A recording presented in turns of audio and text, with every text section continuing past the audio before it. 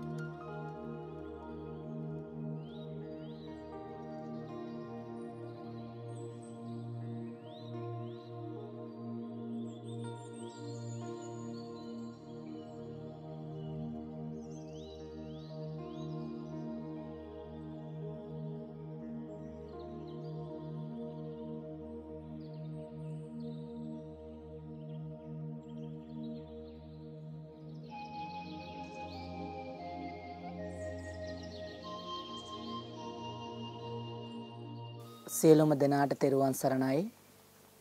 අභිමානවත් ප්‍රෞඩ ඉතිහාසයක ආධ්‍යාත්මික උරුමය සොයා යන ගමන් මාර්ගයේ දීප ගවේසී වැඩසටහන් මාලාවට අනුකූලව අද අපි පැමිණ තිබෙන්නේ ඓතිහාසික මැද්දේ පොළ රජමහ විහාරයටයි. මේ මැද්දේ පොළ රජමහ විහාරස්ථානයේ ඉතිහාසය දේවානම් පියතිස්ස රාජ්‍ය සමයේ දක්වා දිව යනවා. රාජ්‍ය පාලන තන්ත්‍රයෙහි විවිධ වෙනස්කම් මත මේ දක්වා මෙම විහාරස්ථානයේ විවිධ සංවර්ධනයන් වලට මුහුණ දෙමින් ඓතිහාසික විහාරස්ථානයක් වශයෙන් මේ වන විටත් ආරක්ෂා වෙලා තිබෙනවා. ඒ වගේම තමයි ලංකාවේ චිත්‍ර කලාව පිළිබඳ අධ්‍යයනය කරන සියලු දරුවන්ට සහ ඒ සම්බන්ධව අධ්‍යයන තොරතුරු සොයන ඕනෑම කෙනෙකුට විශාල තොරතුරු රාශියක් එකතු කරගන්නට පුළුවන් කලාගාරයක් බවට මෙම විහාරස්ථානයේ පත්ව තිබෙනවා. ඒ වගේම යුග දෙකකට අදාළ චිත්‍ර නිර්මාණය කරලා තිබෙන ඒ වගේම ඊතා පැරණි ලෙන් විහාරයක් පිහිටා තිබෙන ඒ වගේම අනගාരിക ධර්මපාලතුමා විසින් විවෘත කරනු ලැබූ ඒ ගන්ටාර කුලන සහිතව මේ විහාරස්ථානයේ විරාජමානව බබලනවා. දීප ගවේෂී අභිමානවත් ප්‍රෞඩ ඉතිහාසයක ආධ්‍යාත්මික උරුමය සොයා ගිරිඋල්ල ඓතිහාසික මැද්දේපල රාජමහා විහාරස්ථානය වයම පළාතේ කුරුණෑගල දිස්ත්‍රික්කයේ පන්නල ප්‍රාදේශීය ලේකම් කොට්ටාසයට අයත් ඓතිහාසික රාජමහා විහාරස්ථානයක්.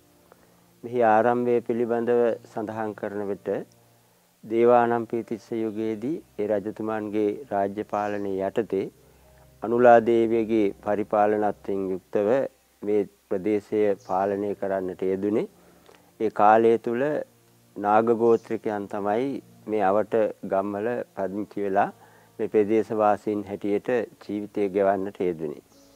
එදා ඒ අනුලා විසයෝගේ අනුග්‍රහය යටතේදී වෙච්ච මේ ඓතිහාසික මැද්දේපොළ රජමහා විහාරස්ථානයේ පළමුවෙන්ම ආරණ්‍යක ඇතව සිටි සුදත්ත කියන හාමුදුරන් වහන්සේ තමයි මේ ආරම්භකයා හැටියට මේ විහාරස්ථානයේ ආරණ්‍යගතව ඒ කටයුතු සිද්ධ කරන්නට යෙදුනේ. ඒ දේවානම් පීතිස්සුගේ අවසානයත් සමගම ඒ ආරණ්‍යයක් හැටියට පැවතිච්ච මෙම විහාරස්ථානය පසු කාලීනව වලගම්බා රාජ්‍ය සමයේදී වලගම්බා රජතුමාගේ අනුග්‍රහය යටතේ මේ ලෙන් කටාරම් ඇති කරලා ඒ වගේම අවට කටාරම්ගල් කීපයක් ඇති කරලා ලෙන් විහාර කිලින් කීපයක් ඇති කරලා අනතුරුව මේ විහාරස්ථානය සාමාන්‍ය තත්ත්වයෙන් පවත්වාගෙන යන්නට ඉදිලා තිබෙනවා. ඊට පසුව නුවර යුගයේදී තමයි මෙහි ආරම්භය සටහනට මේ වර්තමාන දියුණුව දක්වාම පවත්වාගෙන යන්නට අවස්ථාවක් උදා වෙලා තියෙන්නේ. එදා වැලිවිට සංඝරාජ මාහිම්පාණන් වහන්සේගේ දෙවෙනි ශිෂ්‍ය රත්නය වන ගිනිගත් පිටියේ සංඝරක්කිත හාමුදුරන් වහන්සේ තමයි මේ ආරම්භක විහාරාධිපතීන් වහන්සේ හැටියට එම කාලය තුළ කටයුතු සිද්ධ කරන්නට යෙදුනේ. උන්වහන්සේ සත්කෝරළයේ සියලුම ආගමික ප්‍රබෝධයන් කටවීමේ මූලස්ථානයේ හැටියට තෝරා ගන්නට යෙදුනේ මෙම ඓතිහාසික මැද්දේපොළ රජමහා විහාරස්ථානය. එදා ලක්දිවට සියම් දේශයෙන් වැඩම කරවන්නට යෙදුන ඒ උපාලි මහරහතන් වහන්සේ ලංකාවට පැමිණිලා ලංකාවේ ඇති කරන්නට යෙදුන තුන්වෙනි පෝය සීමා මාලකය තමයි මැද්දප රජමහා විහාරස්ථානයේ ඓතිහාසික වශයෙන් ඉතාමත්ම වැදගත් සිද්ධිය හැටියට වැදගත්ම ස්ථානයේ හැටියට අපිට සඳහන් කරන්නට පුළුවන්කම තියෙනවා. අනතුරුව ඒ විහාරස්ථානයේ කටයුතු ඒ කීර්ති රාජසිංහ රජතුමන්ගේ අනුග්‍රහය යටතේ මේ විහාරය ඉදි කරවීම, ඒ වගේ මේ දැවමය ධර්මශාලාව ඉදි කිරීම, ආවාස ගෘහය ඉදි කිරීම ආදී කටයුතු රාශියක් ඒ ආකාරයෙන් සිද්ධ කරන්නට යෙදුණා. ඊට පසුව පසු කාලීනව 1926 පමණ වෙන විට සෝලියස් මෙන්ඩිස් චිත්‍ර ශිල්පියාණන්ගේ චිත්‍ර සිතුවම් කරන්නට යෙදුන දර්ශනීයම විහාරස්ථානයක් බවට මේ ඓතිහාසික මැද්දප රජමහා විහාරස්ථානය පත් වෙනවා. එතුමාගේ සුපුරුදු ආකාරයෙන් එතුමා පවත්වාගෙන යන්නට යෙදුන එතුමාගේ උරුම වෙච්ච ඒ සිතුවම් සම්ප්‍රදායට අනුව මේ විහාරයේ චිත්‍ර නිර්මාණය කරන්නට යෙදුනා.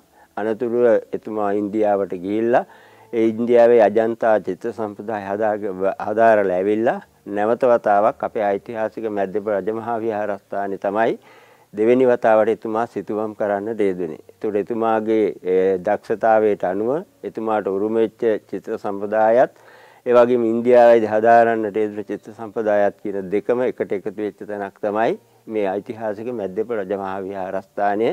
මින් පසුව තමයි එතුමා කැලණි විහාරස්ථානයේ චිත්‍ර අඳින්නට ගිහිල්ලා එතුමාගේ කාලය ගත කරන්නට යෙදුනේ. ඉතින් ඒ අතින් ඒ සෝලියස් මෙන්ඩිස් චිත්‍ර ශිල්පියාණන් සතු ක්‍රම දෙකක් පවතින එකම චිත්‍රත්වම් පවතින විහාරස්ථානය තමයි මෙම ඓතිහාසික මැද්දේපොළ රජමහා විහාරස්ථානය. මැද්දේපොළ රජමහා විහාරය යනු ඇත්තටම ඉතාම සුන්දර විහාරස්ථානයක්. මෙම විහාරස්ථානයේ ලෙන තුළ සිතුවම් කර තිබෙන චිත්‍ර ඉතා මනස්කාන්තයි. ඒවගේම මෙම ලෙන තුළ නිර්මාණය කර තිබෙන සුවිසීරියන් බුද්ධ ප්‍රතිමා වහන්සේ බෞද්ධ බැතිමතුන්ගේ ශ්‍රද්ධා වඩවන ලෙසින් නිර්මාණය කර තිබෙනවා. මෙම බුද්ධ ප්‍රතිමාව පසුපස සිරිපතුල සමීපයේ බොහෝ පැරණි විහාරස්ථානවල නොදකින සිතුවමක් දැක ගැනීමට පුළුවන්කම පවතිනවා. එය පෙනුමෙන් හා නිර්මාණාත්මක ලක්ෂණතින්. අනුරාධපුර යුගයට අයත් චිත්‍ර අනුකරණය කර ඇති බව පෙනී යනවා. හංස පෝට්ටුවකට සමාන ලක්ෂණ දැකිය හැකි. නමුත් නිර්මාණාත්මකව හංසයින් තිදෙනෙකු නිරූපණය වන බව පෙනෙනවා. විසිතුරු ගෙත්තංවලින් පරිපූර්ණ මෙහි උඩුකය නිරුවත් නාරි රූප දෙකකින් යුක්ත වෙනවා. මේ තරමක් අපහැදිලි මේ නිසාහි අන්තර්ගතය නිර්මාණාත්මක ලක්ෂණ හා කාල නිර්ණය තවදුරටත් විමර්ශනය කළ යුතු වෙනවා. මෙම විහාරස්ථානයේ සුවිසීරියන් පිළිම වහන්සේ නිර්මාණය කර තිබෙන ලෙනෙහි චිත්‍රහා මූර්ති මෙරට ප්‍රකට කලාකරුවෙකු මෙන්ම සිත්තරුවකු වූ සෝලිස් මැන්දිස් මහතා ඇඳ තිබෙනවා. ඒ නිර්මාණ අවසංකර ඔහු යෙදූ අස්සනක්ද අදටත් දැක ගැනීමට පුළුවන්කම පවතිනවා. ඒවගේම එම විහාරහෙම අනිත් ලෙනෙහි කුඩා ස්තූපයක් දැක ගැනීමට පුළුවන්කම් පවතිනවා. මෙම ලෙනෙහි සිතුවම් අනිත් සිතුවන්වලට වඩා පොඩි වෙනස්කමක් තිබෙන අතර. එම සිතුවම වෙනත් සිත්තරුවකු විසින් ඇඳ තිබෙන අතර. පහතරට ගුරුකුලේට අයත් SJS සිල්වා සිතුවම් සිල්පියාගේ සිතුවම්ද දැක ගැනීමට පුළුවන්කම් පවතිනවා. එවගේම මහනුවර යුගයේ විහාර සිතුවම් කලා සිල්පීන් අතර පුරෝගාමියෝ දෙවරගම්පොල සිල්වත් තැනගේ සිතුවම්ද මෙහි දක්නට ලැබෙනවා. විහාරයේ ප්‍රථම මාලය තුළ බෝධිසත්ත පරමාදර්ශය නිරූපණය කරන ජාතක කතා සිතුවම් කර තිබෙනවා. බොදු වෙසියන්ගේ හදවත්වලට වඩාත් සමීප වෙස්සන්තර ජාතකය දහම් සොඩ ජාතකය ඉතා විශිෂ්ට ලෙස සිතුවන් කර තිබෙනවා. ඒ සමගම විසිතුරු කැටයම් මල්කම් හා ගෙත්තම් ආදී මනස්කාන්ත නිර්මාණයන්ගේ උපලක්ෂිතව විහාරය අලංකාරවත් කර තිබෙනවා.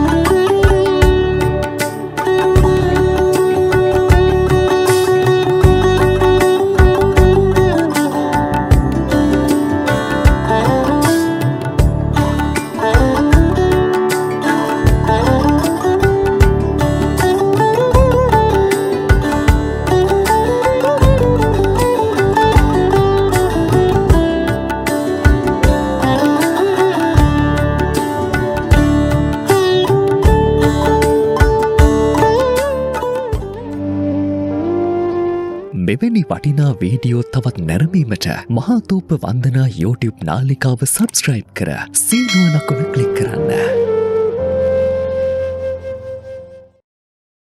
ඒවාගේම දැනට සොයාගෙන තිබෙන සෙල්ලිපි දෙකක් පමණ මේ විහාරස්ථානයේ සතුව පවතිනවා.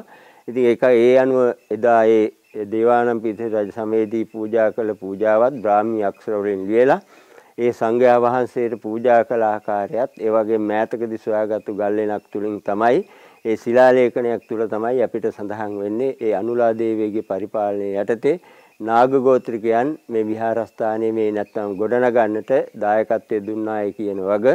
ඉතින් ඒ අනුව තමයි අපේ ඓතිහාසිකත්වයේ ඉතාමත් වැදගත් ආකාරයෙන් අපි සිහිපත් කරන්නේ.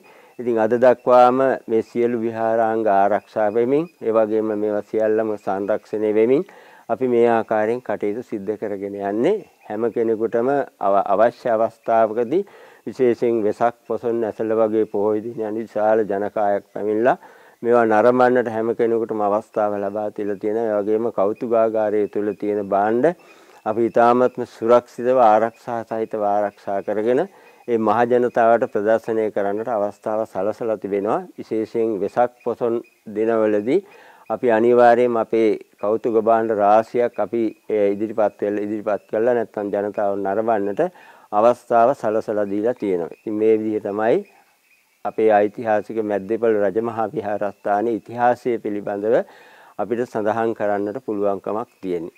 ඉතින් ඒ ඉතිහාසය අනුව සිහිපත් කරනකොට එදා දේවානම් පිටිසුවෙන් ආරම්භ කරලා වලගම්බා රාජ්‍ය සමය පසු කරමින් ඒ වගේම නුවර කීර්ති රාජසිංහ රජුමන්ගේ අනුග්‍රහය යටතේ මේ කරුණු මේ සියල්ල මේ විදිහට පවත්වාගෙන යනවා. ඒ වගේම තම සන්නසකින් මේ විහාරස්ථානයේට සියලු ඉඩකඩම් කීර්ති රාජසිංහ රජුමන්ගේ අස්සන සහිතව එතුමාගේ අනුග්‍රහය යටතේ පුද මේ විහාරස්ථානයේ වෙනුවෙන් පූජා කරන්නට යෙදුනවගත් මෙහිදී අපි විශේෂයෙන් සඳහන් කරන්නට ඕනේ. ඉතින් මේ වර්තමානයේ දක්වා මේ විදිහේ පවත්වාගෙන ඉන්නේ වර්තමානයේදී මෑත කාලය තුල පූජා භූමියක් හැටියට වර්තමාන රජය මේ ප්‍රකාශයට පත් කළා. ඒක පූජා භූමියක් බවට පත් කරලා තියෙනවා. ඉතින් අපි ඒකත් මේ අවස්ථාවේ විශේෂයෙන් සිහිපත් කරන්නට යෙදෙනවා. විශේෂයෙන් මේ නුවර යුගයේ නුවර සම්ප්‍රදායට අනුව ඉදිවෙච්ච මේ ධර්මශාලාව දැවමය ධර්මශාලාවක් හැටියට තමයි පවත්වාගෙන යෙදෙන්නේ. මං හිතන්නේ දැවයෙන් සියල්ල නිර්මාණය වෙලා තිබෙන නිසා මේක දැවමය ධර්මශාලාව බවට පත් වෙනවා. ඒ වගේම ධර්මශාලාව ඇතුළත වෙනම පිරිත් දේශනාවන් පවත්වන්නට ධර්ම දේශනා පවත්වන්නට වෙනමම ධර්ම මණ්ඩපයක් ඒ කාලය තුල ඉඳන්ම සකස් කරලා තියෙනවා. ඒ වගේම ඉදිරිපස තියෙන කොටස හේවිසි මණ්ඩපේ නමින් තමයි සඳහන් කරලා තියෙන්නේ. හේවිසි මණ්ඩපය කියලා කියන්නේ විහාරස්ථානයේ තේවාව සිද්ධ කරන ඒ හේවිසි කරුවන්ගේ නැත්නම් හේවිසි ශබ්ද පූජා පැවැත්වීමේ ස්ථානය හැටියට තමයි මේ හේවිසි මණ්ඩපය කියන එක ධර්මශාලාව ඉදිරියෙන් සකස් කරලා තියෙන්නේ. ඒ වගේ මේ ධර්මශාලාවට හතර පැත්තකින් ඇතුල් වෙන්න පුළුවන්කමක් තියෙනවා. ඒ හැම පැත්තකින්ම හිස නම ආචාර කර ඇතුල් වෙන විදිහට තමයි සියලු කටයුතු ඒ කාලේ මේ දක්වා සිද්ධ කරලා තියෙන්නේ. හැම කෙනෙක්ම ඒ ධර්මශාලාව ඇතුළත තියෙන ඒ පිරිත් මණ්ඩපයට නැත්නම් මේ ධර්ම මණ්ඩපයට ගෞරව දක්වන ආකාරයෙන් තමයි ඇතුළත් වෙන්නට අවස්ථාව සලසලා දීලා තියෙන්නේ. සියල්ලම ධර්මයේ දැවෙන් තමයි නිර්මාණය වෙලා තියෙන්නේ.